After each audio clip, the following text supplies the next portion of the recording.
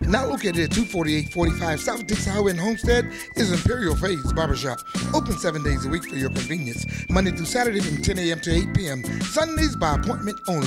For fades, mohawks, blowout, design, takes, and more, come see us. Walk-ins are always welcome. Call 786-339-8793 for Imperial Fadez Barbershop. Need professional design braids? Come see us. No need to barbershop hop. Make that stop Imperial Fadez Barbershop. Your neighborhood professional hair care depot.